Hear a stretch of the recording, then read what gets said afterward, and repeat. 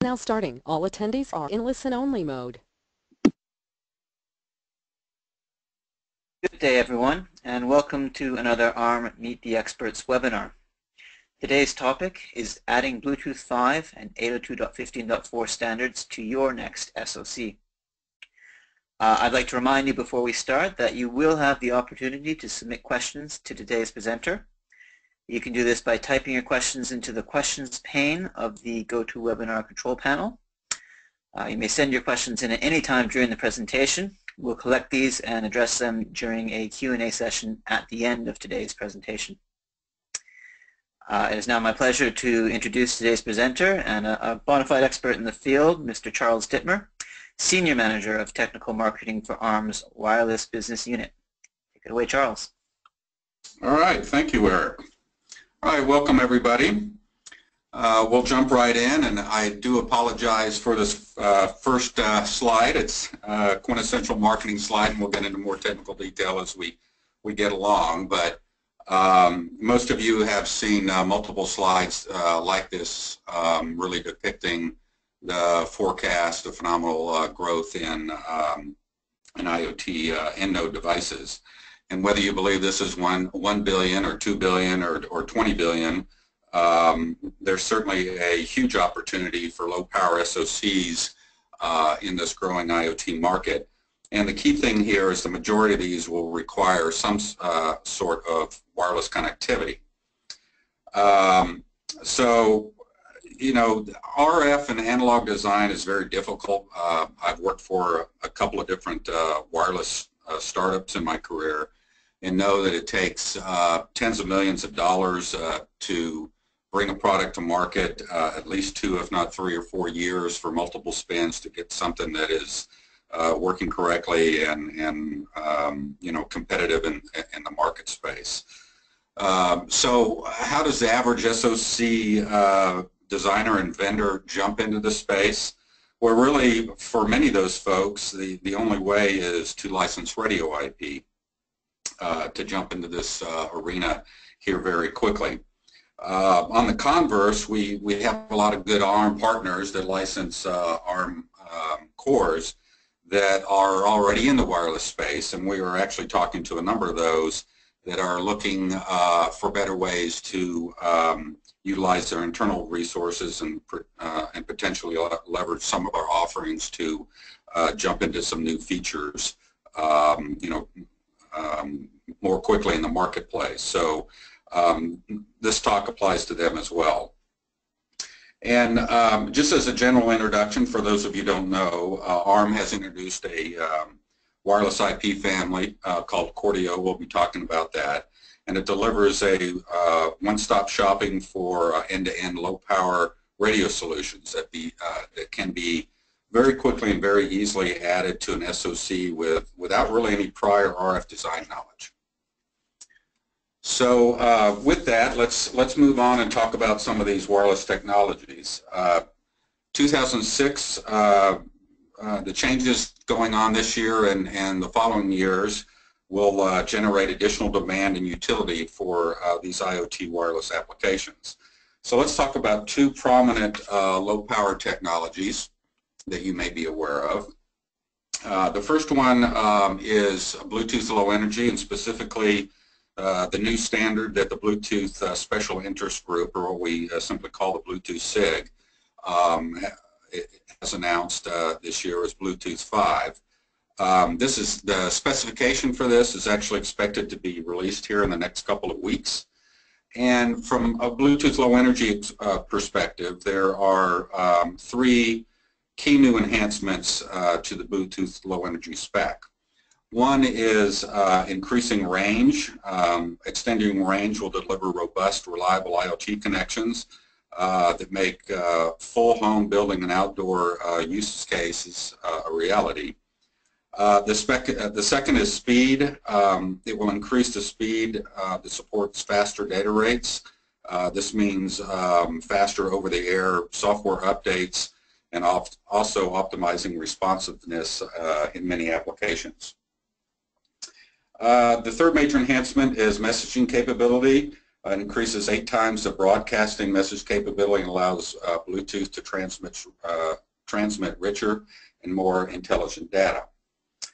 Uh, Bluetooth 5 will uh, further drive the adoption and deployment of beacons and location-based services in both home automation, enterprise, and industrial markets.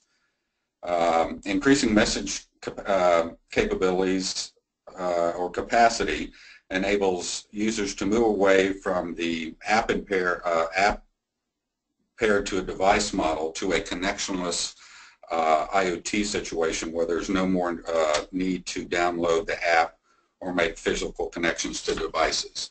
An example of this, if you've uh, downloaded a recent Chrome browser for either iOS or Android, uh, you can turn notifications on and actually um, see beacons and other devices uh, in your in your uh, general neighborhood. All right, moving on, uh, let's touch on 802.15.4 a little bit. Um, we just uh, call this 15.4 uh, for short. Um, it is certainly a uh, proven standard for the home. There's a lot of products over the past years that have been used both in consumer and commercial applications. Uh, 15.4 is actually a, a, radio and MAC specification and is the platform for both Zigbee uh, and thread stacks to run on top of that. So when we talk about 15.4, we're really talking about both Zigbee and thread. And uh, I guess what's new in the Zigbee world is they have unified a lot of the applications or usage mod, uh, module into a, um, a unified standard uh, called Zigbee 3.0. And for those of you uh, new to this place, um, Thread is a uh, fairly new uh, IP-based protocol standard um, that supports uh, 6LoWPAN, uh, where all the end nodes are IP addressable. This alliance was started with seven founding companies, ARM being one of those. So let's let's talk about uh, several considerations for uh, selecting radio IP. Uh, the first being of, of regard, regardless of what low energy standard you're going to use, um, you have to be uh, very much involved in um, the organization's alliances that develop these standards. Um, you know, there's if you're not uh, involved in these organizations, specifically in the working groups that develop the new standards, uh, there is no way to find out any uh, details to start developing uh, your solution to address to address these new enhancements. So in, in, in the Bluetooth case, uh, you not only have to be uh, a member of the Bluetooth SIG, uh, you must actually be a active participant in the working groups for each one of those individual enhancements to understand what's going on. So it's very important to um, be an active member of that. It takes a lot of resources and a lot of time. Uh, here's a summary of uh, what ARM is involved in. As you can see, we're actually uh, one of the key board members of the Bluetooth uh, SIG Board of Directors and chairing some of the working groups and, and obviously participating in, in many of the, uh, the others. Uh, likewise for Thread, uh, again as ARM is a founding member, uh, Bill Curtis is our secretary, is a secretary of, uh, and on the uh, Thread board of directors and we're involved in some of the other um, working groups and, and, and committees. So if you hope to bring uh, all these new enhancements uh, that are going on to market in a very, very timely fashion, uh, the key message here is you must be uh, involved in these working groups uh, very early so you can be developing uh, the solutions in parallel with the uh, specs coming together. So when the specs are released, you basically can um, ship um, at, at the same time. And um, the nice thing about this for licensees is ARM is doing all the uh, heavy lifting and attending all these uh, working groups and participating and driving and defining a lot of these standards um, so you, um, our licensees don't have to spend a lot of effort in, in doing so. Okay, moving on to some considerations is uh, one is just pure RF performance. And in the Bluetooth world, uh, especially Bluetooth Low Energy, the Bluetooth SIG has an RF-PHY test specification And this basically uh, defines the various criteria for a radio to pass the Bluetooth qualification uh, process that I'll get into uh, a little bit uh, more in the, uh, in the next couple slides. Um, these tests are all run by the use of uh, DTM commands or direct test mode commands that are defined in the Bluetooth specification to exercise the radio to perform these tests. Um, and there's a, and there's a number of uh, transmit tests and a number of receive tests, but pretty much the high level one that everybody zeroes in on uh, to quantify radio per, uh, performance is receive sensitivity. Um, on the TX side, you certainly want to be aware if the solution um, is a, a, 0 dBm transmit power, potentially a 4 or up to 10 or even 20 dBm. Uh, that can always uh, be gained up by uh, various methods. But receive sensitivity really uh, dictates, you know, uh, or denotes how good a radio is. And if you're not familiar with this um, with this term, receive sensitivity is, is really not your, is your ability to listen, not, not, not transmit. So we always think about range and transmit power uh, that you can always gain up, but the ability to listen um, is, is, extremely important for range and uh, throughput considerations. And as a general uh, rule of thumb, um, uh, you know, greater than uh, minus 94 uh, dBm is considered uh, fairly competitive. Our solution is, is better than that, but uh, in recent years with the improvements, anything below uh, minus 94 is, is starting to be considered um, subpar. Another very important um, consideration is power consumption. And for quite a number, I won't say all, but quite a number of these IoT-related applications that are emerging. Um, these are battery operated devices and so power consumption is extremely important in, in the terms of battery life. Uh, what you see on the right is um, the power profile of a Bluetooth solution that is uh, beaconing on the three advertising channels. Those are the, uh, the, the, three um, uh, transmit uh, spikes you see in the power consumption there and the, and the smaller spikes after each one of those longer spikes is, is received that after a device transmitted, it, it then listens to see if there's a request to for connection. Um, the, the very important thing to remember with Bluetooth Low Energy and why, um, why it is um, so low energy and why small batteries last for uh, months and even years versus days is that Bluetooth Low Energy uh, in most applications is typically off uh, over 99% of the time. And so if you're off, you're, you're obviously not consume, consuming any power. And so the, the sleep power is extremely uh, important because you're in, the, in that mode um, you know, some 98, 99, 99.5% of the time, depending on your, uh, your, your transmit intervals and your application. Um, um, but you can see uh, with our Cordio solution um, that we're down in the 800 nanowatts. Uh, so what this uh, what this means is is longer battery life. Uh, on the left-hand side, you probably noticed uh, both in the one volt uh, battery domains and the three volt battery domains, our Cordio BT4 solution is best in class in, in power consumption. And another important takeaway on this is that you really have to also um, compare solutions uh, milliwatts to milliwatts. Um, our solution here runs at a, uh, a native sub, sub 1 volt uh, solution. Um, it's been out in the marketplace for a couple years and was, was really the first um, and only sub 1 volt solution uh, at the time. Um, and, and so running at 1 volts, um, in the case of TX power, uh, 7.2 milliamps equals 7.2 milliwatts. Uh, most other solutions out there, uh, whether IP or existing Bluetooth solutions out there, quote their TX powers and sleep numbers in milliamps. And so you have to determine are they running at 2.5 volts or 3 volts, and then you do the simple math. And um, um, they're usually over uh, 10 milliwatts transmit power and uh, over a, a, milliwatt in, in sleep mode. So again, when you're looking at uh, IP solutions, please please do the math and compare milliwatts to milliwatts uh, to, to get an apples to apples uh, comparison.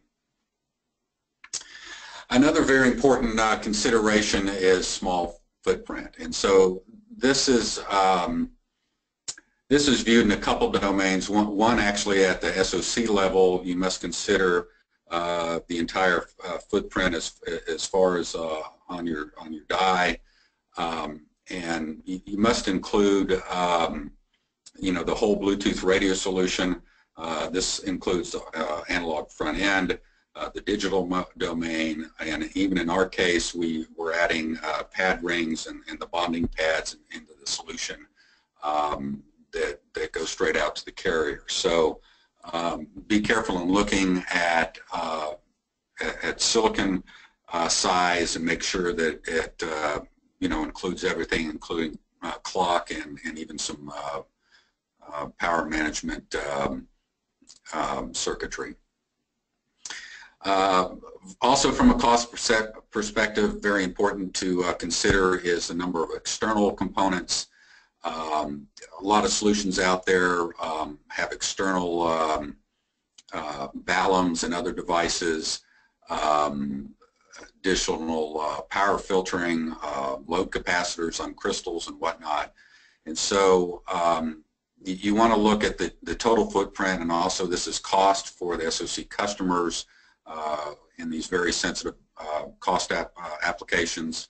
And um, so our solution is very highly integrated and we have eliminated a lot of the external components um, that need to go down on the circuit board around the SOC um, to eliminate uh, both size uh, and cost.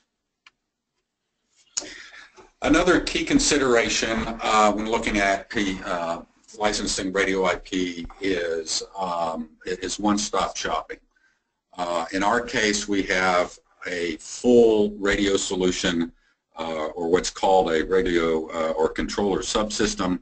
Uh, it's basically antenna all the way through uh, into the SOC side, including the stacks. So you're including the baseband, the link layer, modems, uh, RF-PHY, um, the entire solution. Uh, other solutions out there are only uh, licensing the, the, the, digital side, which is the link layer and the baseband, or more the uh, typical radio analog front end, uh, where, um, consisting of the uh, RF and typically the modem. So uh, if you're familiar with the Humpty Dumpty effect of trying to put pieces together, obviously um, um, this induces design risks, uh, respins, performance degradation, schedule slips, uh, can um, even introduce qualification issues. Um, so be careful on um, whether you need a whole solution or just part of solution, uh, taking something that, that um, you know, is a complete solution that you know uh, works and doesn't um, require any assembly. Okay, let's talk a little bit about Bluetooth Low Energy uh, 4.2 products. Um, this is uh, not trying to be a commercial, but more of just a baseline of understanding. Um, here's a, um, our Bluetooth 4.0 solution. Uh, we announced this uh, over a year and a half ago, about a year and a half ago, in April of 2005, uh, when ARM um, kind of came out of stealth, uh, stealth mode and announced the formation of the wireless business unit. Uh, it consists of a uh, full Bluetooth Low Energy self-contained uh, radio subsystem which uh, contains the RF-PHY, the baseband link layer controller, and the firmware that controls the link layer. Um, this is offered as a hard macro at TSMC 55 nanometer. It's optimized for low power as you've seen from the previous charts. Um, it contains its own clock and power management unit. It's a, really just a complete, uh, pre-done, pre-qualified uh, radio subsystem. Um, and we call this a known good radio. It's something that you drop on the corner of your SOC and interface to the, uh, the AMBA Lite uh, interface bus. Uh, we also offer a full complete uh, Bluetooth low energy stack with quite a number of profiles uh, this is um, pre-qualified, uh, and so you can essentially take the stack, take the radio IP, and on the far right-hand side, you see an example of Bluetooth Low Energy SoC, where the radio IP in the gray on top is simply interfaced uh, on the AMBA 3 interface bus like any other peripheral, and um, our licensees then uh, pick their um, their host uh, MCU uh, in the uh, lower blue section and whatever additional memory and I/O they want to add to it. So as in a summary, as a summary here, um, here is um, kind of the highlights of our 4.2 offering, complete blue low, uh, Bluetooth Low Energy Connective Solution, RF to stack. This is done all in-house. It's Bluetooth qualified, uh, has superior uh, best-in-class battery life, um, and very important with radio. It's uh, with radios. It's proven in silicon, um, and it enables small, cheaper, and more uh, reliable devices with uh, less components. So some from there, let's move on to supporting uh, Bluetooth 5, as I mentioned uh, in the onset, and uh, 15.4. So this is a very interesting slide that I took some time to uh, put together. And let's, let's talk about standards enhancements. Uh, what you see there is a standard Bluetooth stack. Uh, the green areas on top run is, is software, the, the host stack and profiles that run on the host CPU. And then in Bluetooth world, there's the very important HCI or host controller interface. This is basically the logical and physical interface between the stacks running on the host uh, MCU and then the, the radio or what we call the uh, controller subsystem underneath that consists of the link layer, uh, the PHY, and the radio front end.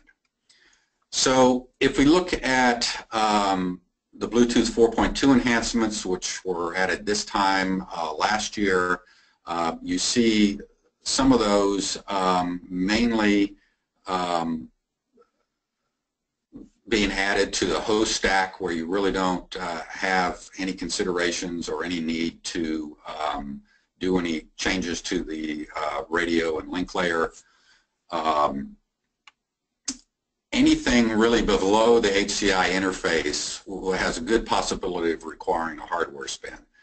This is a little dependent on the actual uh, radio design, but uh, typically a lot of the enhancements, uh, as I blow this out, uh, that were added in 4.2, and more importantly, the three main Bluetooth 5 enhancements that I talked about, um, require changes to the link layer and down in the protocol processing on the PHY area to support these um, these enhancements. So uh, these most likely in any design will will call cause a hardware spin. And if you look uh, on what is coming in the future for Bluetooth, uh, most most likely most of the enhancements that we are aware of that are going to be coming out in the next couple years uh, will require uh, changes that will that will drive hardware spins. So the final takeaway of this, um, and really the, the whole purpose of this, is if you look on the far left, um, is that most of the standards enhancements um, are in the digital domain. Again, a few um, affect the upper stacks, which are easily uh, changed.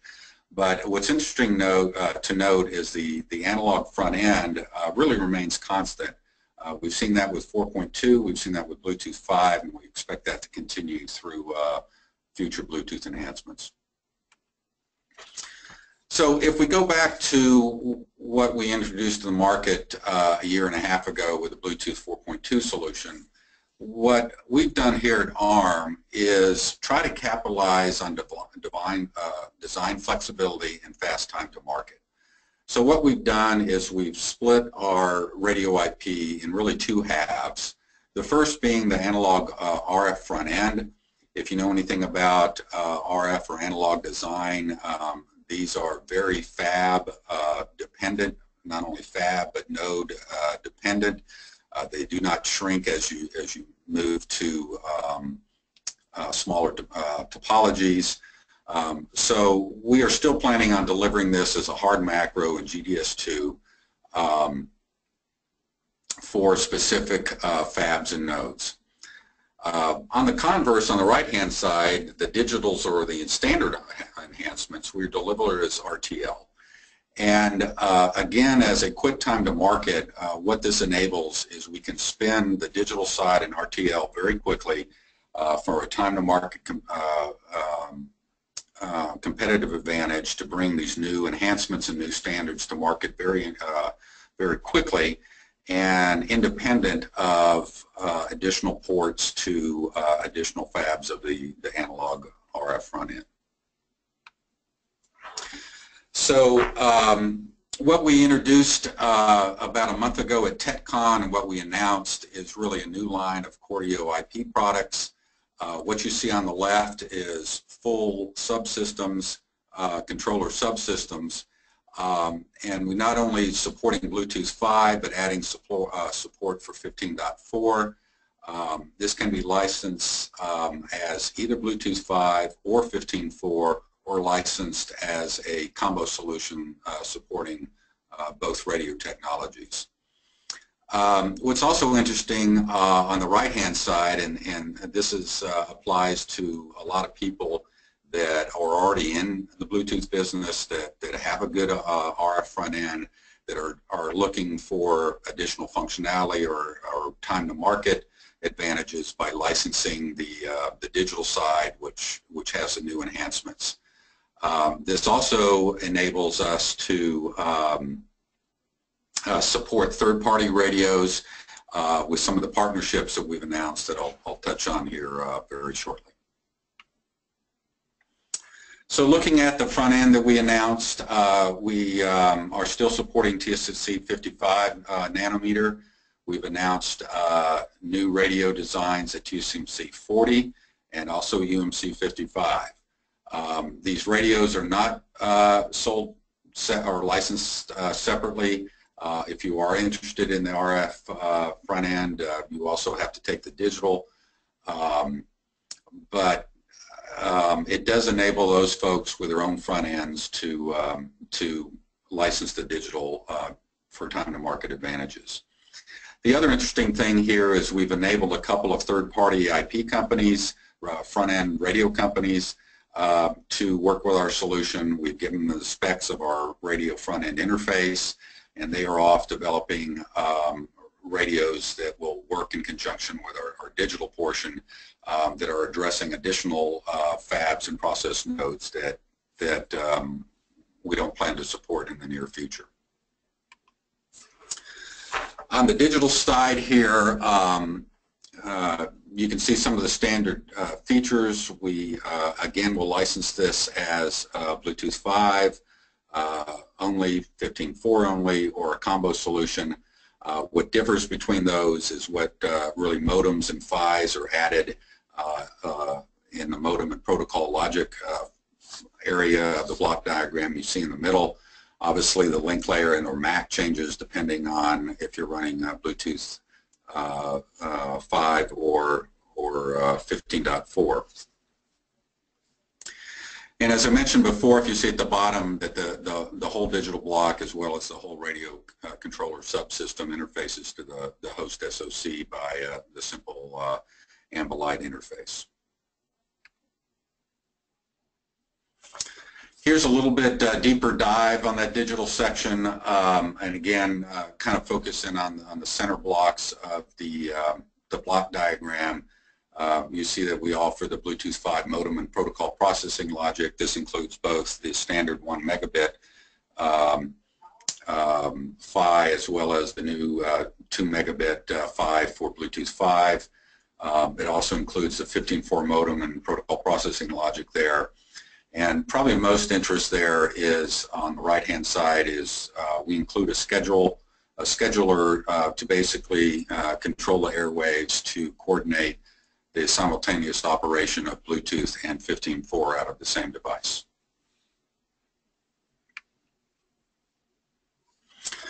So uh, here's kind of just an overall uh, summary and, uh, of, of the solution um, again with the, the three different um, topologies and fabs we're supporting. Uh, probably most interest on this slide is performance. Our Bluetooth uh, low energy uh, receive sensitivity is uh, is minus 95. Sensitivity for 15.4 is uh, 101 uh, dBm. we're maintaining our very attractive um, low power. RX is down into the 6 milliwatt area, TX in the 7 milliwatt. And what's phenomenal is the low uh, sleep power that's down into the 300 uh, milliwatt range. What we also announced at TechCon at the end of October is our ra is radio front end partners, which are Catena and Aurora. Aurora. Uh, they are supporting additional uh, fabs um, that uh, that ARM is not supporting. Uh, we're working in conjunction with them to ensure that their radio uh, front ends work seamlessly with our digital uh, portions in our stack. Um, on the right side, we also announced um, some very good uh, Zigbee stack partners. We didn't elect to do our own Zigbee stack. It's, it's very mature. And between Ubisys and, and DSR have uh, some of the most recognized and uh, widely deployed Bluetooth, or I'm sorry, Zigbee stacks um, out on the market. Um, so we're working with them to ensure that their stacks run seamlessly on our hardware. So kind of a, sum, a, summation here and what we've tried to do to not only spin the digital section very quickly for a time to, mark, uh, time to market advantage, um, but we're giving our customers uh, quite a bit of uh, flexibility. So essentially, um, they select their fab, uh, one of the three fabs we're supporting, or a couple additional fabs that our third-party radios are supporting, or in the case if you have your own radio uh, for your given um, um, fab. Uh, you can then select your features, whether you want to support Bluetooth, 15.4, or both in a combo solution. Um, the very nice thing we've added to our solution is the ability to select uh, your type of memory.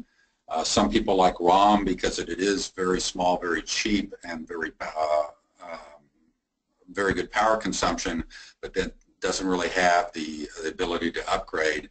Other people may select uh, OTP or some type of other multiple uh, program non-volatile memory uh, to be able to upgrade their solution.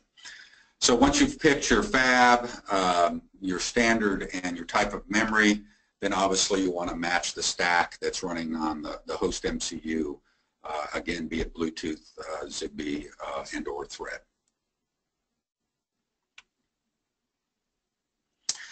So uh, for those of you that are new to the wireless space, uh, it's very important to understand uh, qualifications and regulatory requirements uh, and the difference between the two. Um, Bluetooth qualifications um, are, are required. Uh, you can see by the bullets there that it is necessary to get your solution qualified uh, to be able to use the intellectual property associated with Bluetooth wireless technology. Uh, you must become a, a member of uh, the Bluetooth SIG, either an adopter uh, or associate member, uh, and then list or qualify your solution for the rights to use the intellectual property.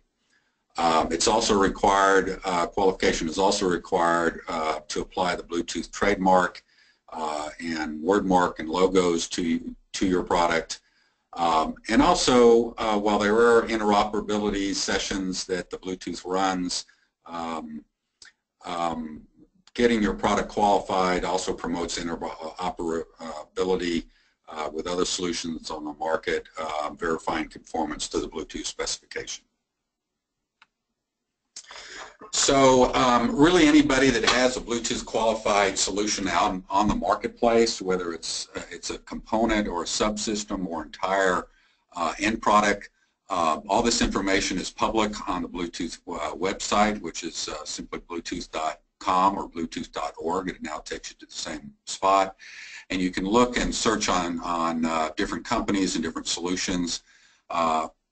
here depicts our 4.2 um, qualifications for the profile, the host subsystems, both of those that are software that runs on the host MCU, and then our radio uh, controller subsystem um, that are 4.2 compliant with the um, solution we, we introduced uh, last year.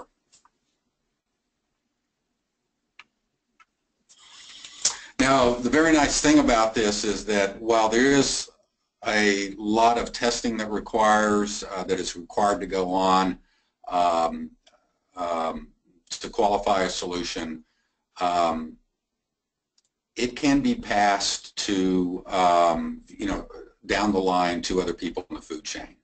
So what this uh, chart uh, depicts is that our radio control uh, controller subsystem is Bluetooth qualified.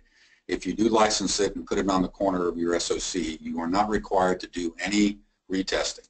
Uh, whether it's our 4.2 solu uh, solution, which is a hard macro, or our Bluetooth 5 solution, um, you really can't change anything. Uh, you don't have to go through the costly and time-consuming process of going to a accredited uh, Bluetooth test facility uh, to get this recertified or requalified. Uh, you can uh, essentially integrate our solution, reference our QDID, and go through the listing process and have your SOC approved. Uh, likewise, there in the center of the screen, the stacks and profiles are qualified. and again, whether you add those um, you know, into um, non-volatile RAM of your SOC or provide those to your uh, SOC customer after the fact, um, that QDID uh, can be referenced from ARM uh, and you can simply list it and don't have to go through any additional testing. Sorry about the, the arrows there. All right, in the listing process, now this is a very important thing. While you're not required to retest uh, the use of our IP, you can simply reference our QDID and list it, uh, you do have to go through what is called the listing process. And so um, we've obviously done that um, um, for IP. And as our SOC vendors use our radio IP and our stack IP, they can reference our QDID. There is a listing fee that is involved. Um, if you're an associate member, um, it's $4,000 per listing. Um, and if you're uh, an adopter level, it's $8,000 per listing. Um, please check the uh, Bluetooth website um, in case the, uh, they, they do ch uh, change the qualification listing requirements. Uh, but this has been in effect, uh, in effect since February of 2015. It's also very important that everybody in the food chain must uh, list their product, um, even if they're referencing our, our QDIDs, or in the case of people downstream from the SOC vendor, they will uh, reference the SOC vendor's QI, uh, QDIDs. So if there's a, mo a module maker involved, uh, he has to list his, his product. Um, and again, the end product is basically the combination of the controller subsystem, which is the hardware and the stack and the host, is what's called an end product in Bluetooth speak. It, it may not necessarily be a user end product, but that's the classification that it would be approved at. If there's a not uh, module maker involved, um, then the, the ODM or OEM making the user end product uh, must list their product. And if someone makes a product, maybe it's a, it's a uh, fitness band or something, if that product is rebranded by another company, uh, they have to list their product as well. Now, the, the, um, the nice thing about this here is that um, no retesting is, is required by the SOC vendor.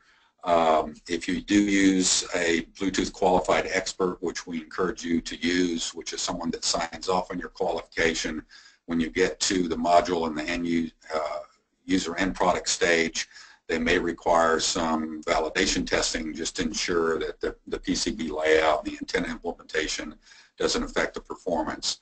Uh, but uh, in most cases, it will not require to go back through the full um, uh, Bluetooth qualification process. Now to contrast that um, is, is regulatory type approval. So hopefully from the Bluetooth qualification you've learned that you're really just testing the Bluetooth protocol, uh, protocol and the compliance to the spec. Where regulatory type approvals are uh, agency approvals um, that allow you to um, sell a product into a market uh, that complies with the local regulatory law, laws. So uh, Bluetooth Low Energy and 15.4 uh, operate in the 2.4 gigahertz ISM band. Uh, it's available and unli uh, unlicensed in, in, most countries around the world. Uh, some of the uh, spectrum allocations and some of the test requirements vary a little bit from country to country or region to region. Uh, but the in-country original approvals are still required to import a product into that region and more importantly uh, to, to sell a product. Uh, it's very important that the regulatory approvals are done at a end product level or system level, not at the SOC level. Uh, obviously, there's implications of the PCB layout, the an antenna gain, antenna uh, radiation pattern that, that can affect uh, your, your spectral output. Um, so again, this is done at the end product level. It's important to note that in some regions, some, there's additional uh, testing that has to go on um, for product safety and, and, and, and um, other metrics, as I'll discuss uh, in the next uh, slide or two here. So uh, who are the governing bodies? Here's a list of a few. Obviously, uh, you see the CE mark on products shipped in Europe. Most people are familiar with FCC uh, in the United States. And just about every major uh, country around the world has their own um, regulatory body and set of criteria to get approval. Uh, now, smaller countries uh, in Latin America, uh, throughout South America and the Middle East, quite often do not have their own regulatory agencies or, or test criteria and what they simply do is they call out that you must either be uh, CE approved or FCC approved uh, pr prior to shipping into their, their country or region. So let's kind of uh, break down the regulatory compliance product. Uh, pretty much around the world there are two types of uh, testing that's done. Uh, one is EMC, some people call this EMI. This is a, a electromagnetic compliance or electromagnetic uh, interference.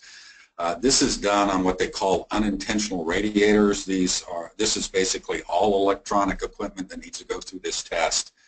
And uh, what it ensures is basically that that electronic equipment isn't radiating or spurring some spur, uh, spurious emissions uh, that may interfere with uh, uh, other devices um, around it.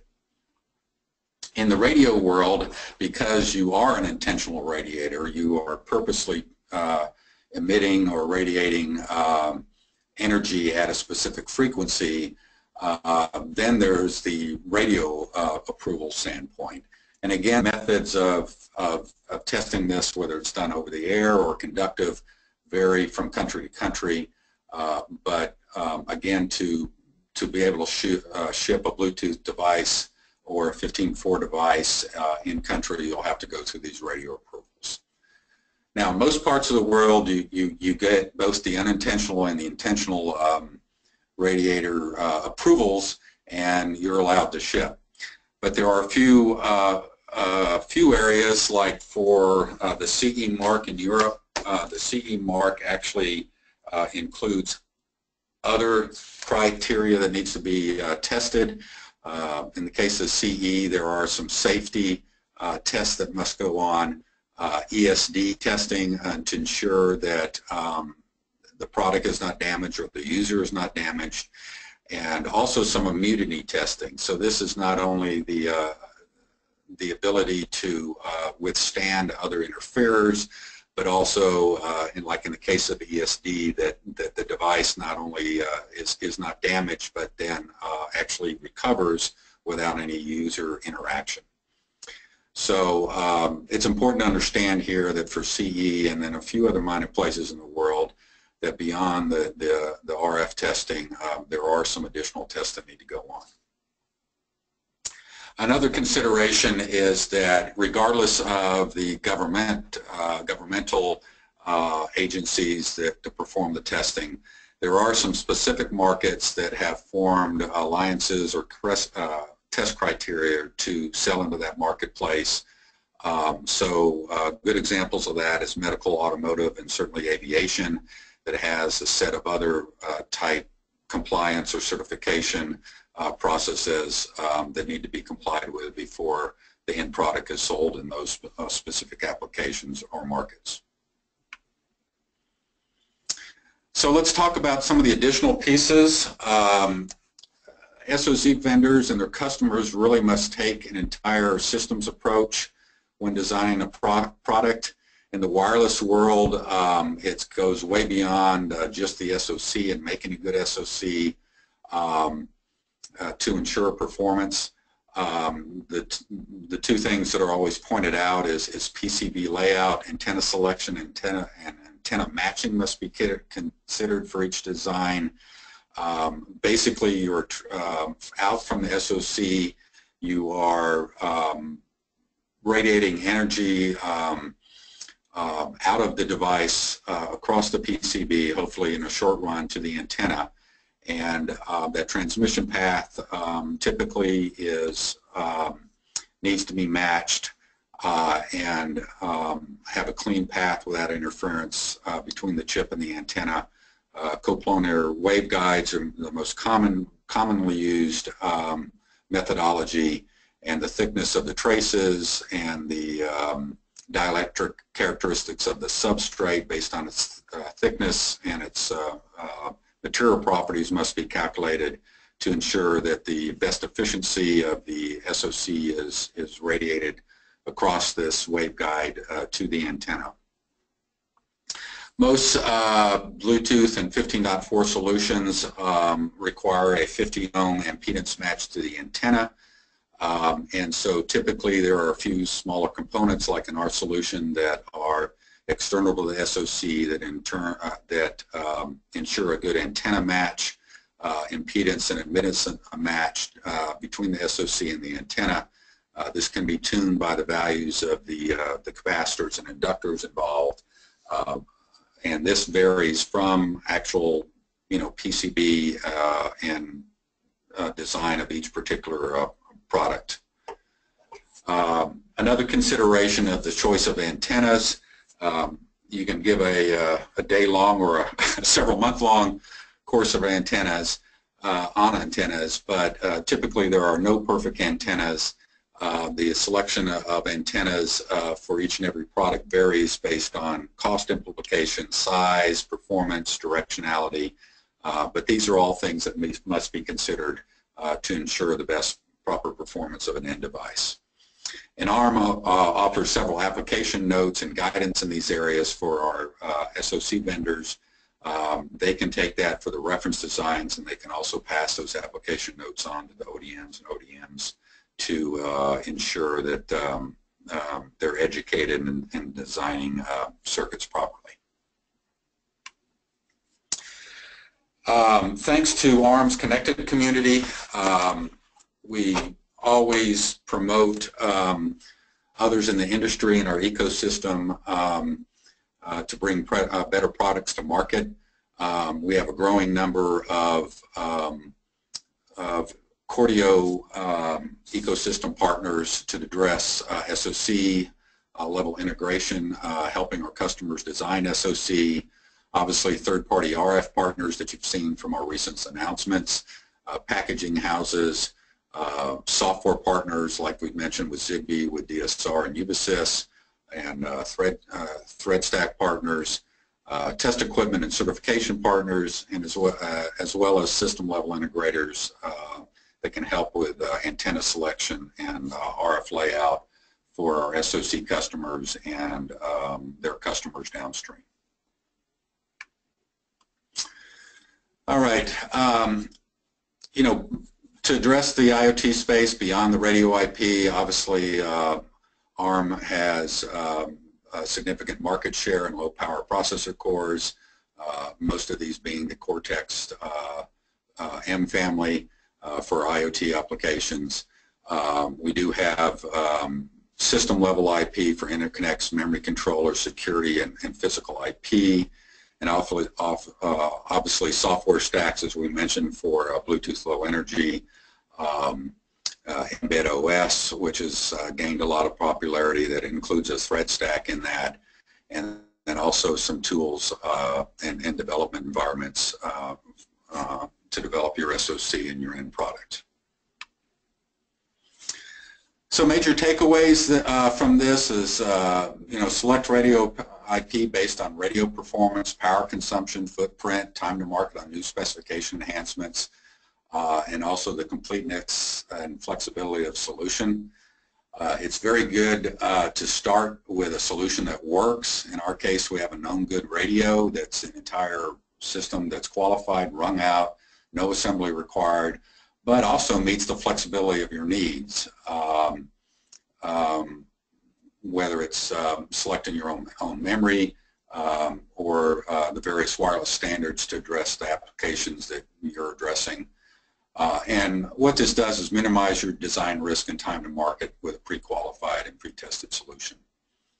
Uh, we touched on briefly uh, taking a systems approach to supporting your customers. Again, um, um, using PCB uh, design guidelines and, uh, and, antenna selection guidelines uh, to support your customers for end product. And then e ecosystem partners to augment your, your solution. So um, with that, um, you can see that ARM's Cordio solution has gone a long way to simplifying IoT connectivity uh, for both people that are already in the wireless space and for the people that are just jumping into the wireless space, trying to make this um, as easy as possible. Uh, we hope uh, we have given you some points uh, to consider uh, and that you've learned what ARM is doing to uh, simplify IoT connectivity. Uh, if you'd like more information on our solution, uh, you can simply go to uh, arm.com and uh, look under wireless IP solutions, and there's a lot more product information um, that's available out there.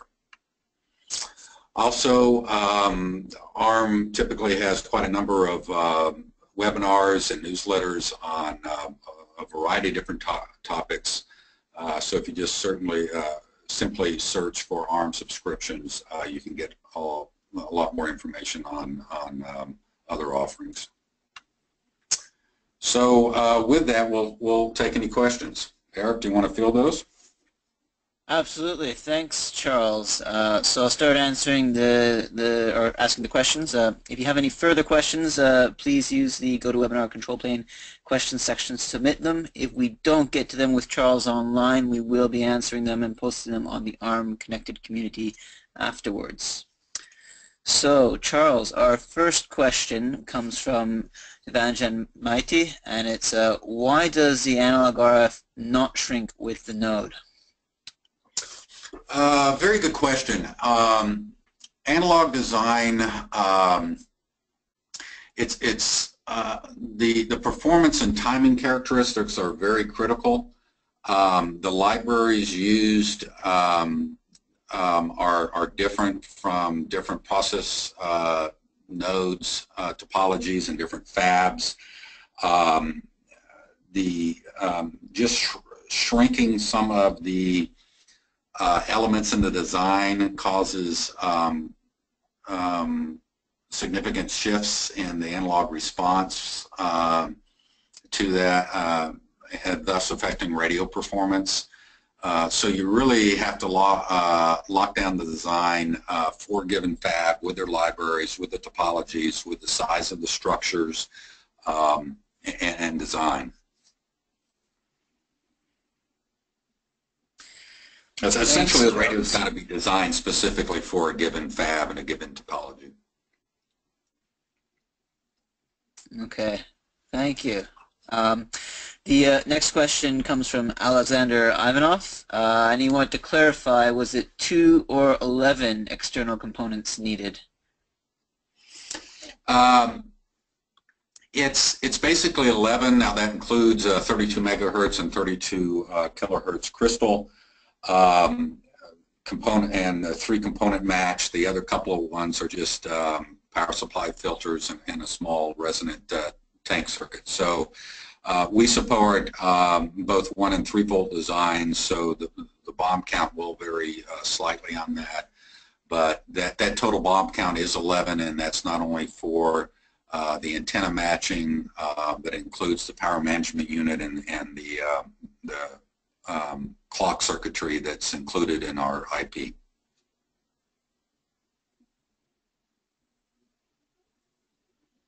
Thanks, Charles. Uh, further question from Alexander was, uh, at which data rate did we receive the uh, negative 95 dBm sensitivity? At which data rate? Yes. Okay. Um, that's basically um, baselined at 1 megabit per second. I obviously, uh, I don't know off the top of my head if, if it varies at all for the two megabit per second mode. Okay. But Uh, we, yeah, that's, that's basically, um, um, you know, full performance there. okay. Uh, next from Martin Kovac, are all SoC vendors required to be members of the Bluetooth SIG if they are using ARM Cordio?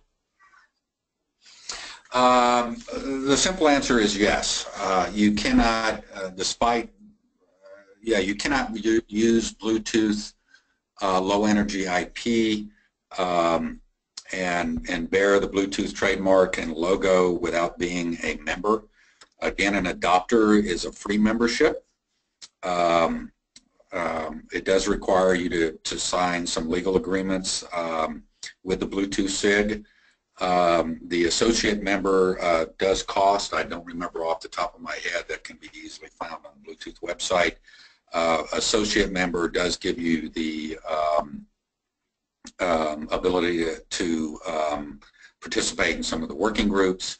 Uh, and then it also gives you a reduced um, listing fee um, and, some other advantages.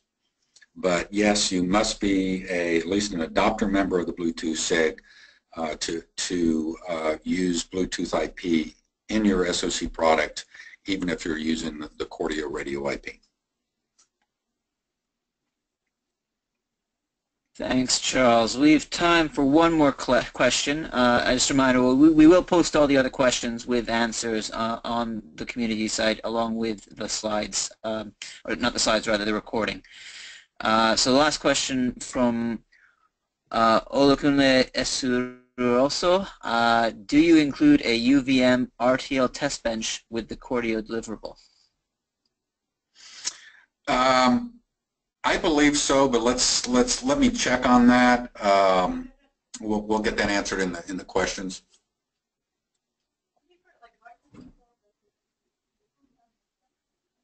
Okay. Uh, thank you, Charles, and, and, thank you, everyone, for attending today's Meet the Experts webinar on adding Bluetooth 5 and 802.15.4 standards to your next SoC. Uh, if you have any further questions, uh, you can post them uh, on the community page uh, where we will be posting this recording and, and the other questions. Um, we will circulate that information to you in an email uh, following this. Uh, once you leave today's webinar, you will receive a survey on the presentation, and we would really appreciate it if you take the time to complete it. This uh, helps us um, steer us on, on what kind of information we present in these webinars in the future. That follow-up email with the link to the recording will come within 24 to 48 hours after today's uh, webinar.